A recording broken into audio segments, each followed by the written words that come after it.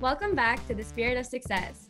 I'm your host, Yara, and on today's episode, we will be discussing careers related to composition and music.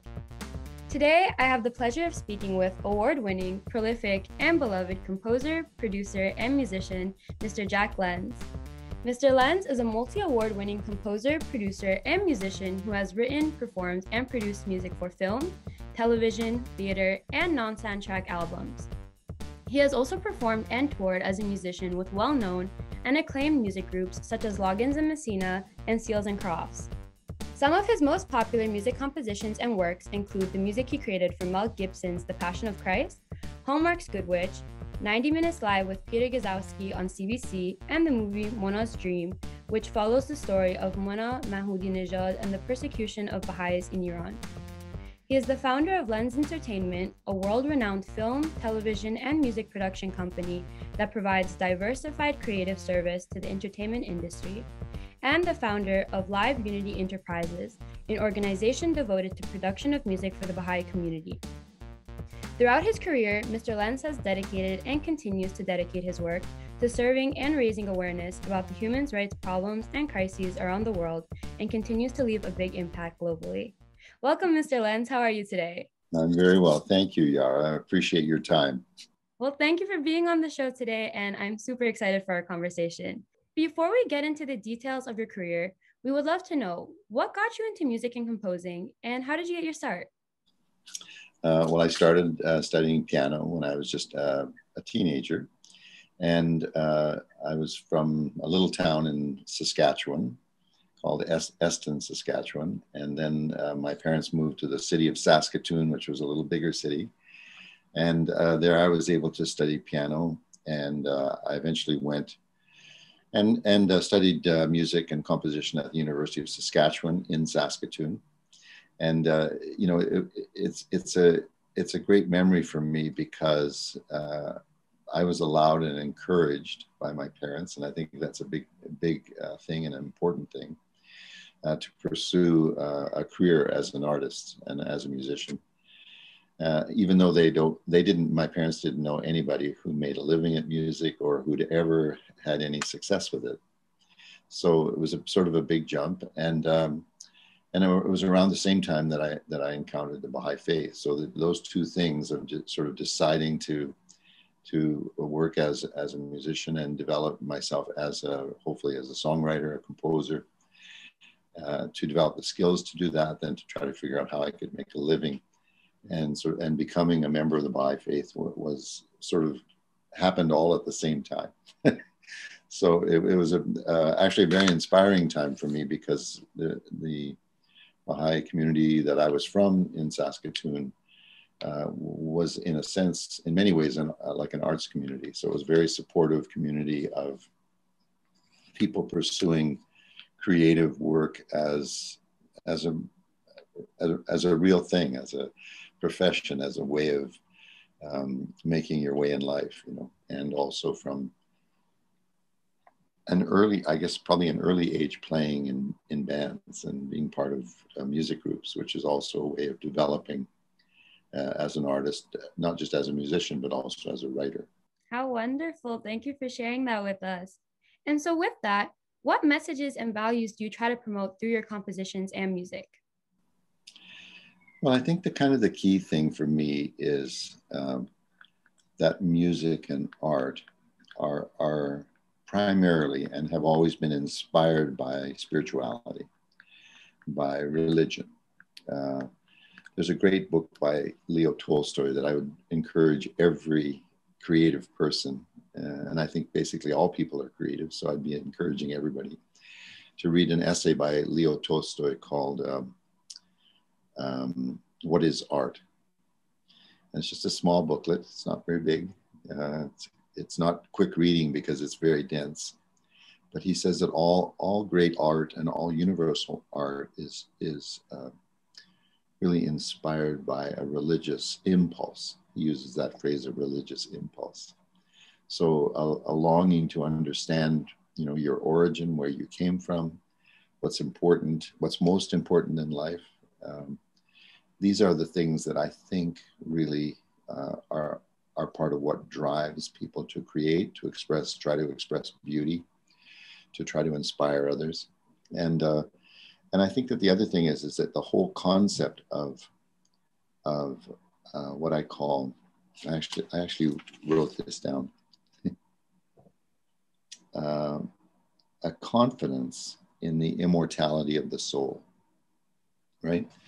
Um, the question of where we go after we die is important to every single person, and you know how how does music, how does art um, address that issue of immortality and what happens to us when we die? Uh, and that's always been interesting to me ever since I, uh, I was a young person. That was a, a, big question for me, and so uh, finding finding a way to express that through music and thinking and making a connection that actually music is inspired by souls in the next world that are in a very pure state and that they have a capacity to inspire um, ideas, melodic ideas, um, um, all, all, of those things, lyrics, all of it. Everything has uh, a purpose. And the, the greatest purpose that it can achieve is to have a sense of cohesion and unity between elements, right? So um, I always used to think music is the same thing. It's when, when you uh, actually communicate with people through music and musicians play together, it's a very subtle thing. But if they're not unified in their understanding, if they're not unified in their approach, if they're playing from a different songbook, uh, the music won't sound good. yeah. So it's a simple analogy, but it's it's true that music really represents unity on a very high level. Right? Yeah. I think those are all very important things for us to think about both as when you're listening to music and for people that are creating music. Um, one thing had talked about in a previous episode um, was that the the human mind, the human um, psyche is always longing for rhythm and longing for cohesion and unity of some sort. And that's something that we find through music, like you were talking about. So it's an interesting thing to think about. And at first, it's not something that comes to the forefront of our minds, I don't think, when we're listening to music, but it really just shows how deep an impact music has and that it can have on people and how it's something that's so naturally part of us as people. Yes. Um, so, talking a little bit about your experience as a musician, um, and I think maybe a little bit prior to your work more so as a composer, um, you had worked with a number of groups and performed with them, recorded, toured, um, as we had mentioned in the beginning, one of them being Seals and Crofts and uh, the other being Loggins and Messina. Can you tell us a bit about your experience working as a musician and how these and other experiences as a musician inspired your composition work and your desire to become a composer? Well, I think when you work with people who've established their greatness as writers, uh, which is what I experienced as a very young person, being around people like Kenny Loggins and Jim Messina, being around Jim Seals and Jimmy Seals and Dash Crofts.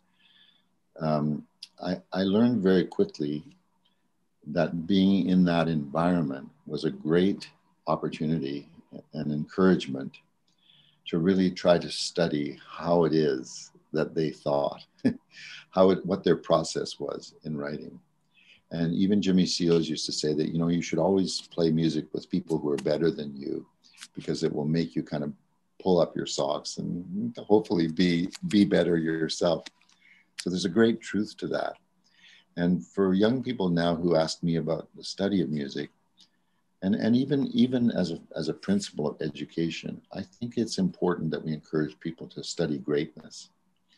And it's not a simple question because, or a simple idea, because if you if you're going to study greatness, you have to try to understand in yourself how do I measure that? How do, how do you measure greatness? How do you measure something that has excellence, right? If you're working from a standard where you've had no education, it's pretty difficult for you to measure greatness. You might measure it by economics, right? Oh, that person is very wealthy, therefore they must be talented. But you find after a while that those standards are unique in that they they represent uh, not just virtuosity, but virtue. they, they represent uh, excellence of expression, not just uh, people thinking that it's wonderful when maybe it's not so wonderful. you know, we, we, we've set up a standard in music whereby we consider fame to be the, the standard. And it's just, it, it, it's, it's not an enduring standard, right? Because fame, like money, like anything um, material, evaporates eventually. So what is it? What is it that then can be a standard of the study of greatness? So I think, for example, people should study they're going to study music, they should study Bach, Mozart, Beethoven, because the music has endured for centuries. So if you study that, that that's a very good start. That's a very good foundation. I think people should also study great songwriters. So I think it's valuable to study the the composers of the 30s and 40s and 50s of the 19th century or the 20th century, sorry, the George Gershwins and the Sammy Cahns and the oh, just incredible, um, in, incredible uh, Irving Berlin. You know, there, there's there are all these standards of people who wrote really enduring melodies, very wonderful, emotional, and clever lyrics. You know, um, a lot of those songs had a lot to say. Uh, they were certainly songs that became popular.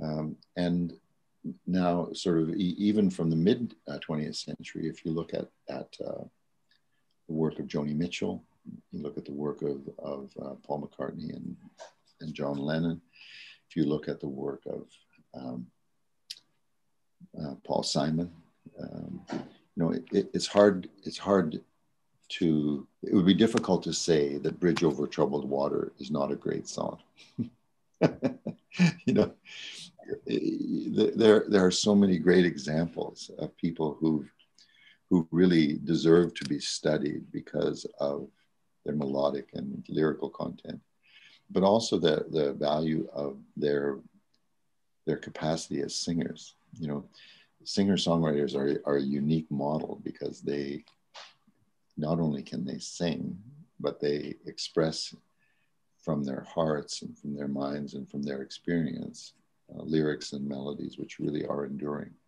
Yeah. And oftentimes they say that those songs just kind of flowed through them, that they found some some source of inspiration that they didn't necessarily understand. So all these things are at play in the study of greatness. Right? You have to be able to figure out why is it great? and then once you determine, you know, within hopefully a universal standard, um, and not just North American music, not just uh, European music, but uh, music from other wonderful cultures, to understand why it's great and then what's great about it. Why has it endured? Why does it continue to have a powerful emotional effect on, on people, right? And I think those those are the things that we need, you know, kind of to certainly as a, as a as a person that writes music, those are my always my first questions. Is is it is it true? Is it authentic? And does it does it meet any of those standards that I've studied Uh, that represent greatness?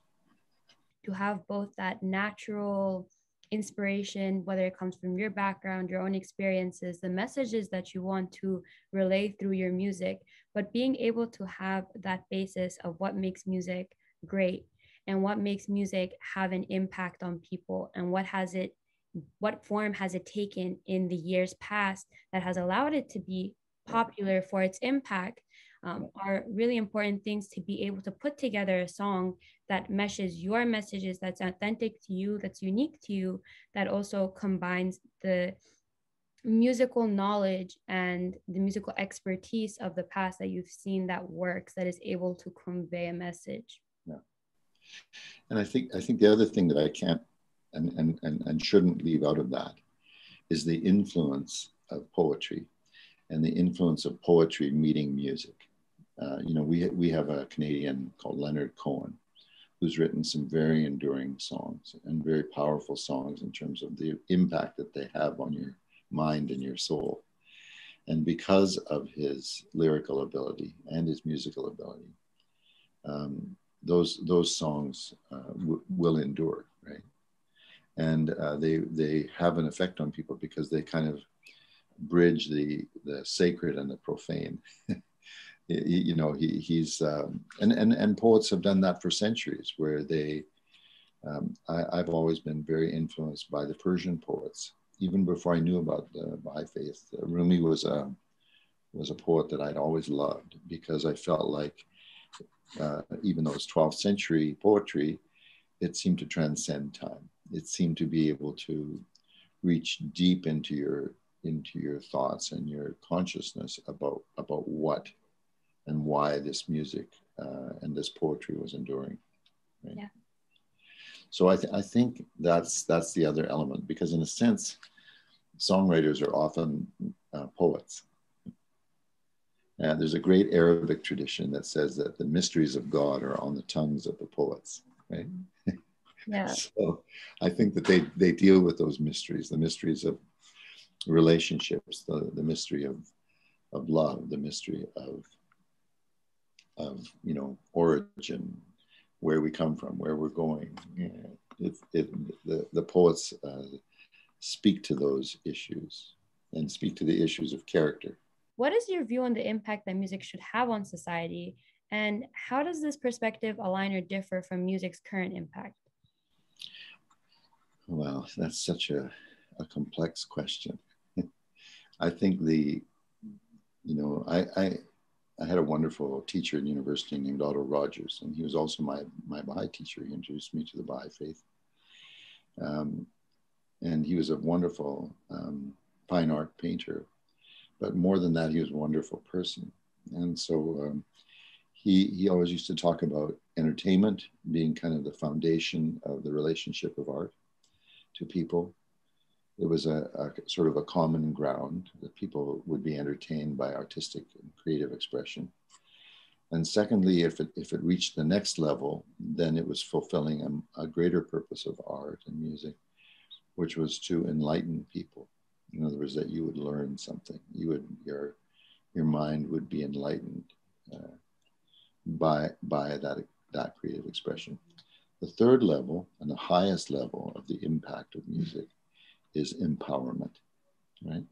Because what do we seek in our lives? We don't just we, we, we soon realize that that this is a difficult world and it's a toilsome world and many people suffer very greatly. So the, the heart of, uh, of an artist should be a heart that's open and receptive to the feelings of others, right? So then that empowerment that can come through art or music is something that then can inspire people to action, to changing themselves, to changing something in their society that needs to be changed, to addressing injustice, to addressing the great needs of humanity to achieve something better than what we're currently experiencing, right? So that's that I feel is really maybe sounds a little trite to just say, oh, it's entertainment, it's enlightenment, it's empowerment.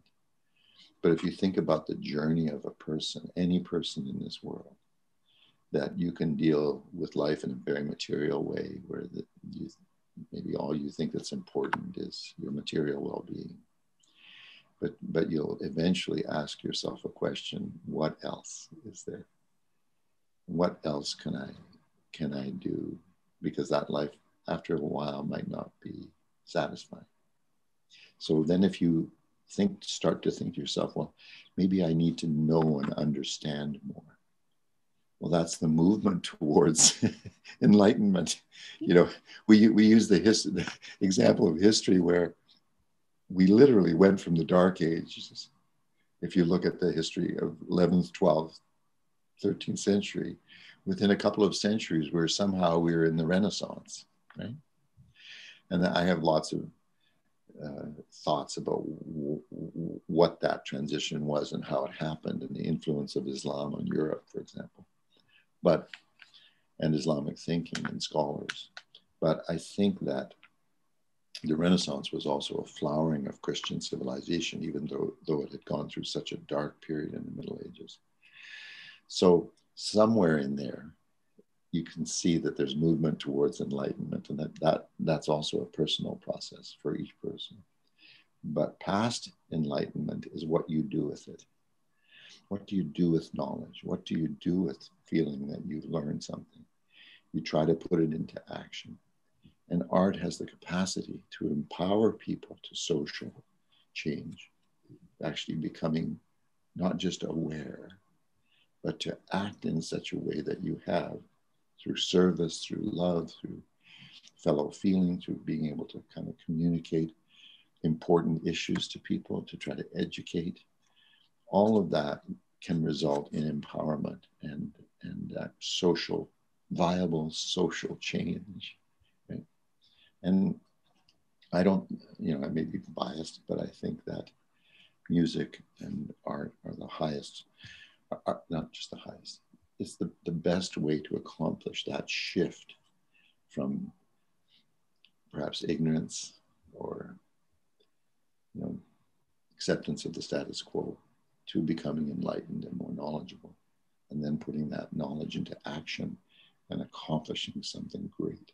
I definitely agree with that. I think music um, and the arts in general are one of the best, if not the best, ways to be able to make an impact on our society for personal change, for changing communities, for a change on a global scale. And I think that was all very beautifully put one thing that we've noticed and that I think we're beginning to notice more is that behind every great movement, behind every change in, in history, um, there's music behind it. There's always an anthem of some sort, there's a movie of some sort, there's some type of art that comes out of that time period or that is representative of that time period where a great change occurs. And I think that just shows how integral music is to creating those shifts and changes in thinking and so, with that power that music has, that I think is sometimes beyond human understanding, um, it really has the power to change the world. And we see that it is doing that.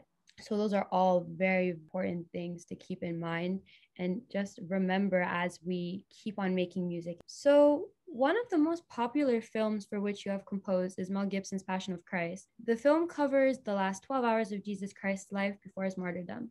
What inspires you to be a part of this movie? And can you please share with us your experience working on and composing music for it? The answer on part two of composition and music with Jack Lenz. Be sure to tune in to The Spirit of Success on YouTube, Spotify, or wherever you listen to podcasts so you don't miss out. Bye!